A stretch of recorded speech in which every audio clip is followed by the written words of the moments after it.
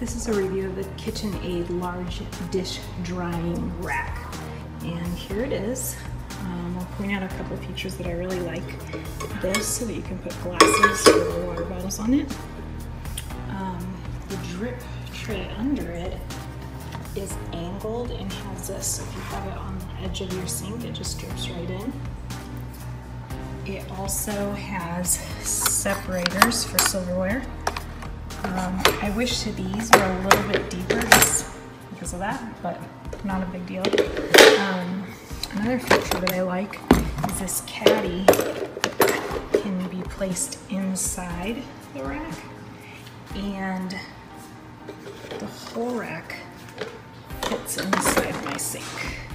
Um, the drip tray does not. If I place it like this, it fits inside, so that's great for me. Um, and this I figured might be really cool as a um, surface to cut, place a cutting board on and put watermelon on it or something so that that drips into the sink. Um, just make sure that you know the measurements because it's pretty large.